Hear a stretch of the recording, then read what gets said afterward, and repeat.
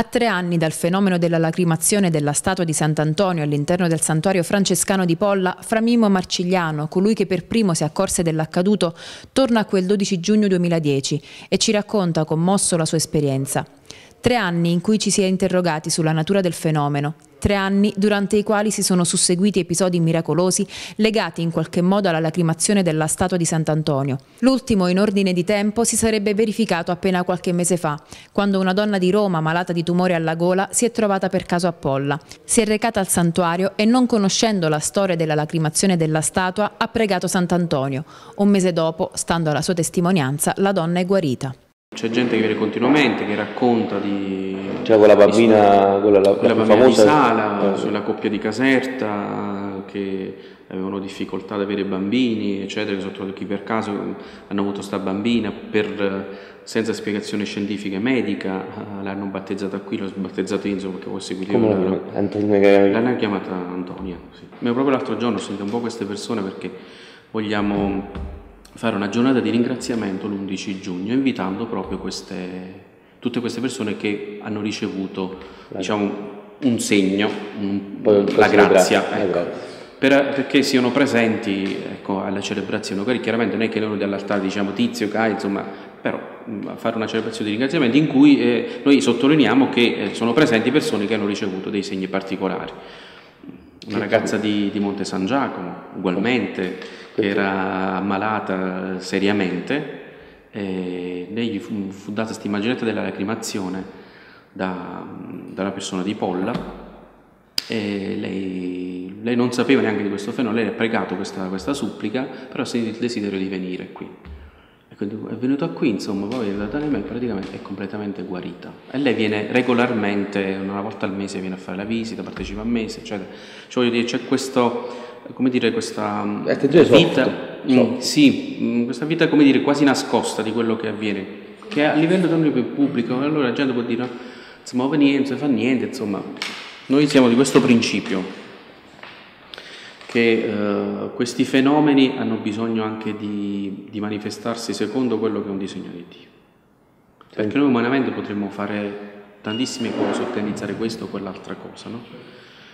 Noi siamo convinti che eh, Sant'Antonio eh, fa la sua parte e ne siamo convinti anche per, eh, per evidenza di fatto, perché noi dal primo momento, al di là del clamore iniziale, e di- delle- anche delle difficoltà che abbiamo avuto a livello, tra virgolette, un po' di vertici, eh, poi a un certo punto ci siamo detti eh, proprio con molta serenità, abbiamo detto no, è inutile che noi vogliamo stare lì a pressare, insistere, quello che deve essere sarà, sarà Sant'Antonio insomma a farsi strada da solo.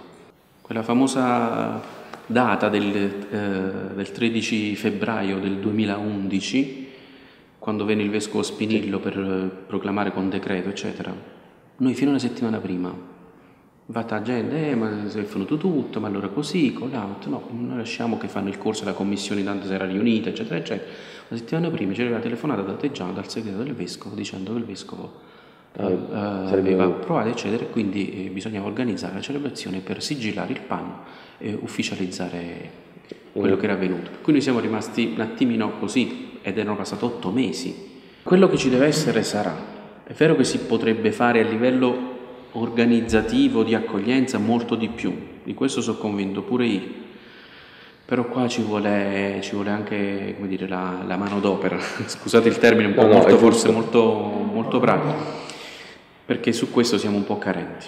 Allora, se c'è un santuario, create anche le condizioni perché uno possa arrivare qui e possa anche trovare il minimo, no? condizioni permanenti. Permanenti. Quando Eh, esatto, proprio per una... Allora, questo interesse da che cosa deve nascere?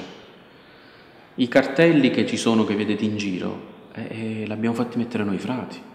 Chi amministra la cosa pubblica e dovrebbe avere la sensibilità a certe realtà, allora preoccupatevi anche.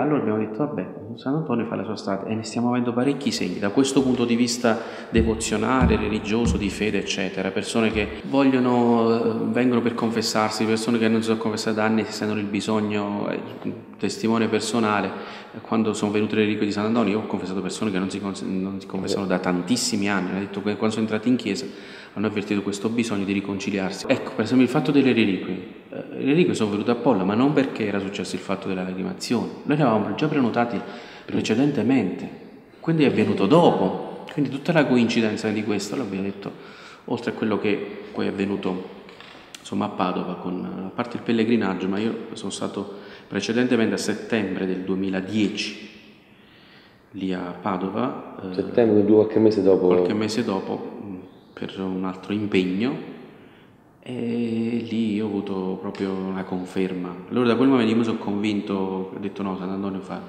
fa lui quello che deve disegno. fare. Sì, perché mi sono, trovato, cioè, mi sono trovato lì, eh, dovevo accompagnare delle persone, ma questo dalla sera al mattino mi è stato chiesto di accompagnare queste persone. Cioè, giustamente, qualcuno aveva suggerito un altro frate, ma perché non dice a Mimo? Se dice a Mimo fai in, in paradiso, perché andare a Padova? E infatti dalla sera al mattino ho dovuto fare la valigia e sono partito un bel viaggio. Un bel viaggio. Sono arrivato lì e giustamente, insomma, cioè, ma io cioè, mi trovo qua, dico non posso andare via senza poter dire a qualcuno quello che è successo a Polla però io avevo anche eh, timore, un po' per carattere, un po' per dire, ma che mi va a dire, insomma, come mi faccio a presentare? Ma chi sta mi pigliano per scienza? Cioè, per e quindi mi sono messo in preghiera vicino alla tomba che a un certo punto ho detto no, mo devo andare. Cioè, qualcosa che mi ha spinto proprio, sono andato in sagrestia, ho chiesto a un frate se era possibile parlare con il rettore della, della basilica e lui mi ha detto, ma guardate un po' così titubando, ho detto sì, è possibile, ma per quale motivo? Dico, senta, è una salute un po' delicata. E lui ho visto che, che quasi che dice, ma lei da dove viene? Vengo, vengo da, da, Salerno, da Salerno, dove ha chiamato San Antonio. Mi sono rimasto così. Ho detto sì, io di questo volevo parlare subito, subito. Praticamente sono stato un'ora a colloquio personale con il rettore della Basilica, spiegandogli tutto, eccetera. Lui in primo momento mi ha fatto, no, che, mi ha fatto delle domande, insomma, poi me l'ha confidato dopo, ha detto io ero scettico quando tu mi raccontavi questa cosa, ma non scettico perché non... Ha detto che la notizia era arrivata lì, la, qualcuno gli aveva detto eccetera, loro hanno detto non si è arrivata nessuna comunicazione per cui non possiamo pronunciarci sulla veridicità di quello che è avvenuto. Dice vabbè, se, eh, vedremo. E praticamente dopo che ha visto le foto, eh, il direttore della Basile insomma è rimasto così pietrificato perché dalle foto lui si è reso conto che era qualcosa di particolare. E lui lì a stand mi ha detto no, tu stasera vieni, vieni qui, vieni, celebriamo il Vespa insieme con la comunità, lì sono 70 frati, eh? Sì, eh. in Basilica, tra, insomma c'erano vari... Ha detto vieni e poi ti fermi a cena con noi e dovrai spiegare a tutti l'esperienza. Ha detto no, ho detto Patrenzo, non mi No, ho detto devi essere tranquillo, ho detto così come era raccontata a me la devi raccontare a loro. Mi ricordo come è successo tre anni fa, cosa, come venne, come avvenne tutto. Sì, eh, vabbè, intanto sapete che il luogo eh, non era la chiesa, ma era giù, piano chiostro, dove è il museo attualmente. Sì. Eh. La statua era lì perché, vedete bene, quella era la statua che esce processionalmente, per cui non era esposta durante tutto l'anno. Quindi il 13 giugno?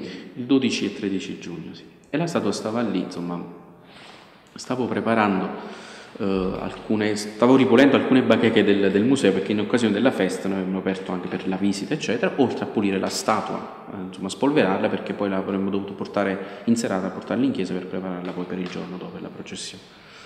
E c'era con me c'era Arturo. Sì.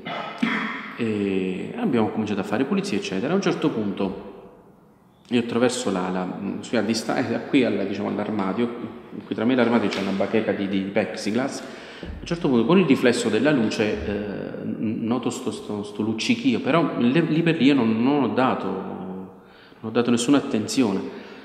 Poi come se qualcosa dice, ma no, ma riguarda di nuovo. Poi ho alzato la testa, però mi sono avvicinato. A quel punto io cioè, sono rimasto, ho fatto un passo indietro, sono rimasto un attimo così. È arrivato Arturo, che in quel momento non era proprio vicino, ha detto, Mimma che c'è? Ha detto Arturo, guarda la statua, si è fatto che cosa c'è? Mamma mia, cioè lui si è allontanato, si è messo paura, ha detto no, no, stai fermo, non ti muovere. Io sono rimasto lì, devo dire la verità, insomma, una decina di minuti fermo, senza avere né la forza di, di, sì, di dire una parola, né, cioè nella, nella mente mi sono passati dieci minuti, forse mi è passato tutto, a, non lo so neanche io, cioè tu, tradurla tu. in parole è difficile perché non, cioè, non è una cosa ordinaria, insomma, ti trovi dinanzi a qualcosa che che è molto più grande di te. Prima di rendersi conto di quello prima che di sta rendersi succedendo. conto. Però la cosa che mi ha colpito subito, poi chiaramente ho avuto modo di, tra virgolette, di verificarla, è questo fatto dello sguardo, gli occhi, gli occhi Vivi? che sì, vivi. Cioè, eh, quello che disse il eh, padre Enzo eh, di Padova, dice, lui ha usato queste immagini, dice, io le ho, avuto- ho l'impressione che ehm, come se ci fosse una, una maschera dietro alla quale c'è, c'è una persona viva, eh, guardando quelle foto. E quindi poi Effettivamente, cioè, come se avesse eh, avuto questo sguardo di, eh, sì, mm, a parte gli occhi gonfi, eh, rossi, insomma, di una persona che è lì in tensione eh, proprio di, di- sta... di- di comunicare qualcosa, no, come se diciamo, sto per dire qualcosa, ma non. Perché dopo questo frangente, insomma, di, di- di pochi minuti che sembrava un'eternità, insomma, e così ho detto, insomma, a Tullio, scappa sopra, vai a chiamare padre Ippolito immediatamente. Eh, lui un po' dire, dice, vai, vai sopra, e dice, fallo scendere su. Che arrivato padre Ippolito, ho detto, che c'è? Padre Ippolito, guardate la statua. Ho detto, ma che cos'è? Cioè, lui lì per lì ha guardato, ho detto, ma che cos'è? Che... Dice, "Padre, guardate gli occhi, infatti, ma che è vernice? E oggi guarda, questo padre po' che vernice, mamma mia, detto. E lui pure la stessa cosa, la reazione, che lì, poi giustamente chiudiamo subito le porte perché c'era in qualche modo il, chiostro era aperto, di cui se arriva qualcuno qua all'improvviso succede il putiferio. E guardate, faccio, che dobbiamo fare, che non dobbiamo fare, insomma, eh, subito, immediatamente. Ho detto, vabbè, chiamiamo padre Tommaso, intanto avvisiamolo subito. Eh, chiamato padre Tommaso e stava tornando da, da Salerno eh, con Fra Vincenzo perché è andato a fare alcuni acquisti, eccetera. Eh, ci padre Tommaso, dove siete? E detto, sono so a Petina, perché? Ci padre Tommaso, ritornate subito, immediatamente. Ma che è successo? Ma Tommaso, eh, sì, che ti devo dire? Ma che è successo? Lui un po' così, un po' nervoso, giustamente, ma ha visto... E penso, ma che ti devo dire per telefono? E, ma non vuoi dire, no? E, e, e- cioè, e San Antonio piange. Ah! cioè, che significa? E ho detto, guarda, come ti spiegavo? Ho detto, no, arriviamo su, dopo dieci minuti infatti sono arrivati.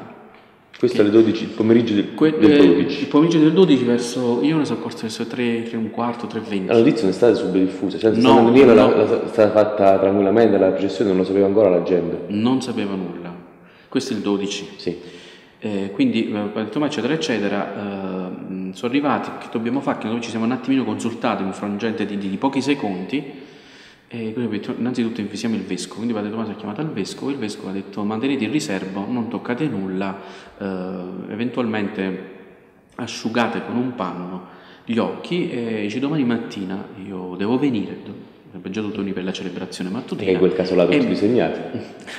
e, e dice poi ci vediamo, ci mantenete riservo. Giustamente la prima cosa che abbiamo fatto, riservo assoluto. Poi ci siamo messi solo noi frati davanti alla statua, a porte chiuse, eh, Padre Tommaso con la storia, abbiamo cantato il Siqueris davanti a San Antonio, abbiamo fatto la preghiera, l'invocazione dello Spirito Santo e lui salito su uno sgabello con un panno abbiamo asciugato gli occhi. E il panno che adesso è sigillato. Quindi Padre Tommaso come l'ha preso? L'ha, l'ha messo in una busta E l'ha- l'ha, conservato da quel momento e nessuno più l'ha toccato. Eh, però nel frattempo dice che dobbiamo fare? Mm, Padre Tommaso, perché non chiamiamo un, l'ospedale, vediamo se si possono fare delle analisi anche sulle lacrime. Ha chiamato in ospedale, ha parlato con la dottoressa Pascale, spiegando il fenomeno, ha però chiaramente ha detto sotto eh, condizione di non dire nulla. Eh, ha detto, ha detto, noi in ospedale non abbiamo questi strumenti specifici per poter risalire insomma, al DNA o altre cose. Ho detto, ma niente di che possiamo fare. Però vengo. Ho detto, ma sei andata a prendere. Lei è venuta qui sopra. eh, praticamente le- lei, pure quando ha visto la statua, insomma, è rimasta. E lei ha suggerito l'unica cosa che si può fare con una siringa tipo insulina, preleviamo il liquido dagli occhi e, se c'è lo, lo- lo congeliamo. Ho detto l'unica cosa che io vi posso suggerire di fare. È venuto con questo, lei aveva timore, non voleva farlo, insomma, sinceramente, eh, eh, mettere l'ago nella, nella pupilla, diciamo così, nel- nei canali lacrimali. E ancora gli occhi erano rossi ancora. Ancora sì, sì, sì.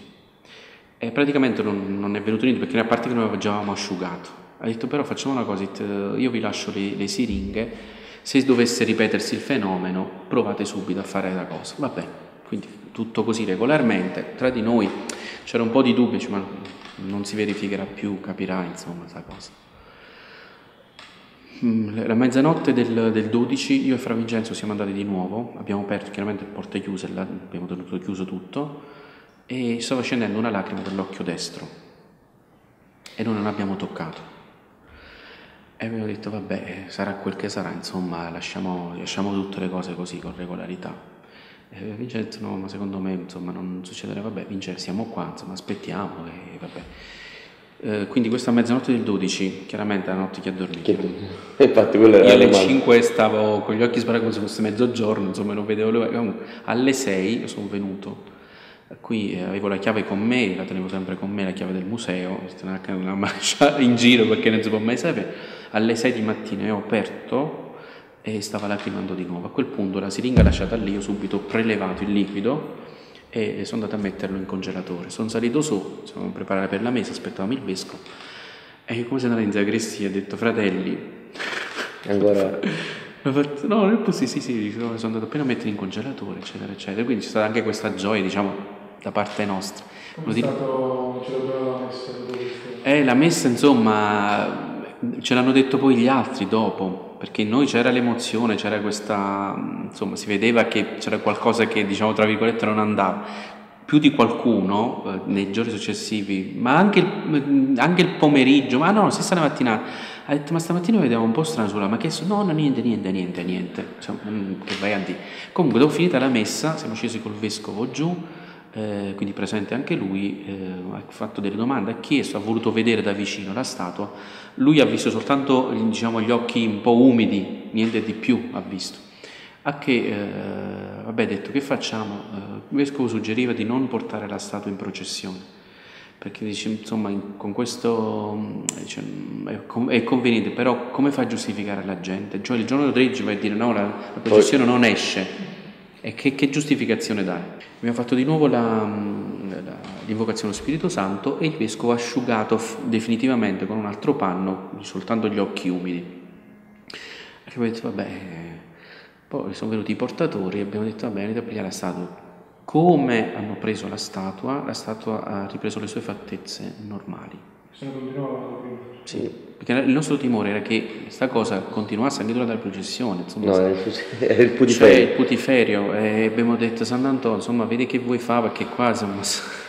E anche. quindi siamo stati un po' in tensione durante un po' tutta la giornata. Verso mezzogiorno, il giorno 13, io e Vincenzo abbiamo detto, andiamo quando... Eh, no, verso l'una meglio. Quando è arrivata la statua in ospedale, fa sosto in ospedale, siamo andati a vedere giusto per renderci conto e con una scusa un'altra, insomma, siamo andati là, sembrava tutto normale. Ho fatto Vincenzo, eh, mi sale sullo sgabello, sistema un po', che sta un po', eh, devi sistemare un po' le cose. Ho detto sì, sì, e ho fatto Vincenzo, ho detto, sto Vincenzo, tutto normale. Cioè la statua ha ripreso le sue fattezze normali e da quel momento così è rimasta. Chiaramente il giorno dopo eh, è cominciato a trapelare qualcosa eh, e così, insomma, nel giro di una settimana è cominciato ad arrivare giornalisti, compagnia, però la statua noi l'abbiamo messa in una stanzetta chiusa e abbiamo smentito, noi per la prima settimana abbiamo dovuto smentire. Anche perché era una situazione... Sì, perché noi in quel momento, a parte che il vescovo aveva detto di non farne, ci lasciamo un attimino vedere, di capire un attimo e poi vediamo il da farsi, quindi noi abbiamo smentito. E una cosa tira l'altra, non vi dico poi il seguito, poi quella conferenza stampa che fu fatta giù in refettorio, eh, non, ancora non potevamo eh, rendere pubbliche le foto, perché le foto sono state rese pubbliche proprio quell'11, quel 13 febbraio del 2011, quando il Vescovo ha proclamato, quella sera sono state per la prima volta rese pubbliche le foto. Perché in questi otto mesi intanto c'è stata istituita la commissione voluta dal Vescovo, commissione teologica e scientifica fatta di medici.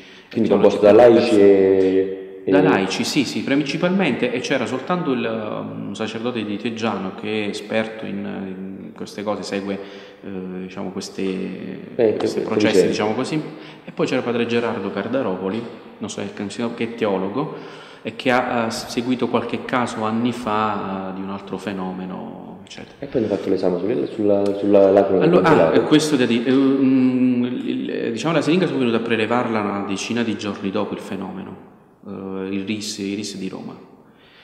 Ecco, questo è il, il, il neo. Noi a tutt'oggi non abbiamo avuto ancora la siringa. nonostante le nostre reiterate insistenze. Ma voler... con, con, le lacrime, col... ah, le lacrime si sono chiaramente, sono state fatte le, analisi, loro mm, l'unica cosa che non hanno potuto dire il DNA, perché le lacrime non è come altri tessuti umani o capelli eccetera, eh, ci vuole una quantità maggiore per poter fare il DNA. Però la cosa che diciamo, hanno detto, anche se non per iscritto, che comunque non è un liquido eh, artificiale o chimico. Quindi non è tipo pittura o sudore del esatto. legno. Questo confermato dall'analisi scientifica del chimico che ha fatto l'analisi sulla, sulla statua perché la Commissione ha voluto anche che si escludesse qualsiasi tipo di manomissione, eccetera, cioè dovevano avere tutte, come dire, tra virgolette, le carte in regola. Quando è venuto il chimico Salerno ha smontato la statua, ha fatto un foro dentro, l'ha scalpellata dentro, insomma, ha fatto vari elementi, i solventi, i colori utilizzati nei restauri successivi, eccetera. Ha, fatto, cioè una, una, una, ha curato con i raggi infrarossi, noi abbiamo la, la, la relazione con le foto e tutta la, la diagnosi, diciamo così, della, dell'esame. dell'esame chimico e lui, eh, il chimico, ha escluso categoricamente manomissioni o eh, reazioni chimiche di solventi, di colore, eccetera. È un legno del Settecento, quel tipo di legno soprattutto, ma un legno antico, non può essere mai, non si può mai alterare tanto da fare fuoriuscire il liquido. Perché qualcuno diceva a me, ma il legno è soggetto a questi fenomeni. Poi, lui esclusa assolutamente no. Non è un legno nuovo, non è un legno fresco, un legno stagionato di più del Settecento non può mai fa fuoriuscire il liquido per nessunissimo motivo. A livello fisico è inspiegabile. A livello, a livello chimico è inspiegabile, quindi lui ha, ha, scritto proprio che non si può spiegare scientificamente, quindi resta uh, questo fenomeno. Questa è un po' la parte di spiegazione, tutto quello che è la cronaca e tutto quello che è avvenuto come anche come processo di, di, diciamo così, di, di indagini e non ultimo poi quello della commissione, volutamente loro durante tutte le sedute che hanno fatto non hanno voluto mai vedere le foto per non essere influenzati. Soltanto l'ultima, diciamo tra virgolette l'ultima seduta, dopo aver ascoltato le nostre testimonianze singole, facendo giuramento sulla Sacra Scrittura che quello che dicevamo corrispondeva a verità o meglio di quello che noi abbiamo, abbiamo visto, e quindi per ultimo hanno deciso adesso possiamo vedere le foto e andare eh, davanti alla statua. Quindi hanno analizzato le foto. Ma la foto l'ha fatta facesti tu? Sì. Eh, sì, mi è sfuggito quel particolare del 12 pomeriggio. E lì pure è stato. Eh, poi ecco, quando rimetti insieme i tasselli ti rendi conto. Perché io non dovevo trovarmi quella macchina fotografica con me. Io il giorno prima ho chiamato, io stavo a Potenza, chiamai Nicola Langone, sì, sì. che anche adesso è frate, che era postulante allora, cioè quello che iniziava il cammino. Sì, sì. Nicola, quando vieni domani fammi la cortesia, vai in camera mia, nel primo cassetto c'è una macchina fotografica, portamela, così almeno faccio vedere durante la festa, mi piace fare queste cose, almeno per l'archivio, sai. Quindi io non so chi mi ha spedito, ma che, che c'è la macchina prima mi ha fatto pigliare, la macchina fotografica, io me la sono trovata lì, a fianco alla cosa, e io lì per lì non ci ho manco pensato di fare le fotografie. Poi dopo ho detto che stupido, fare le fotografie. E mi sono messo, infatti ce ne sono un paio sfogate perché, a parte il tremolino, ma poi, poi ho messo la macrofotografia, quindi sono venute belle i particolari. Quindi ne ho scattate una quindicina di foto di tutti quelli che sono i particolari appunto della, della pupilla, eccetera. Ma qualcuno ha detto, eh, potevo fare un filmino, senti, non è che ho tutta questa capacità, la calma di dire faccio il filmino, faccio insomma, quindi... Già la foto. Già la foto, e questo veramente è stato a distanza di tempo posso dire che questa è stata una, voglio dire una grazia perché forse la parola è grossa, però se non avessimo avuto le foto, eh, noi, eh, cioè, eh, era la testimonianza verbale.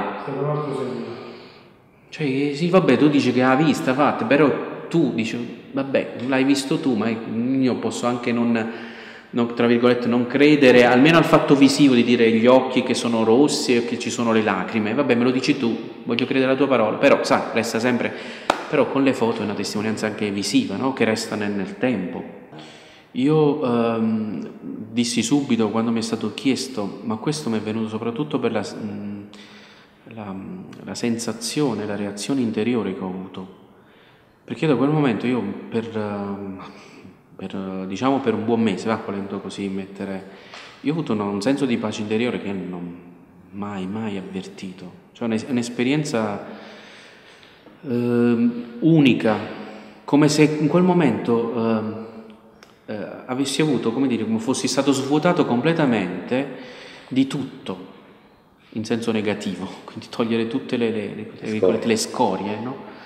Un senso di leggerezza, di pace che è stata una cosa straordinaria, che io non riuscirei né a descrivere né credo più a rivivere, però non metto limite alla provvidenza, nel senso che è stata un'esperienza di grande pace interiore. Allora a quel punto ho detto, una lacrimazione di Sant'Antonio che cosa può dire? Non può essere presagio di tragedie perché io non ho avuto paura, non ho avuto timore, non sono scappato, non ho avuto angoscia interiore, ho avuto un senso di leggerezza e di pace. Tutto questo è un messaggio di, io l'ho definito un messaggio di speranza, di consolazione.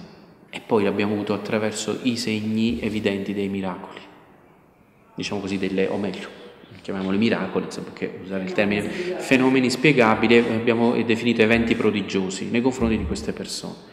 Quindi il fatto di questi di avere una, una bambina, la guarigione di, della bambina Simona di Sala Consirina, eccetera, L'ultimo eccetera. Caso di... L'ultimo caso. Quindi questi confermano che è una vicinanza di Sant'Antonio, è come se lui avesse voluto dire è venuto il fenomeno, adesso la conferma ve la do attraverso queste cose.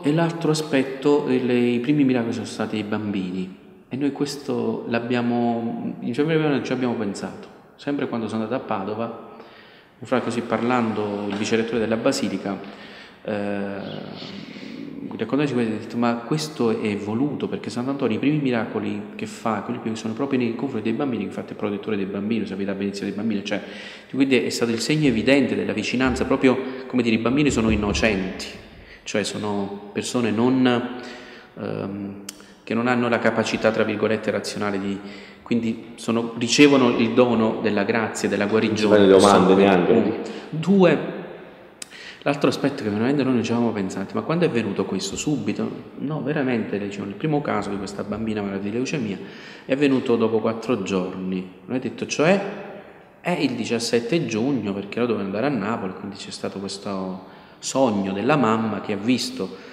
in un fascio di luce questa figura di questo frate con un bambino in braccio, chiaramente e lei ha sentito questa voce, lei si è girata, ha visto questa saga, questo luce, ha sentito questa voce dire non ti preoccupare, tua figlia guarirà.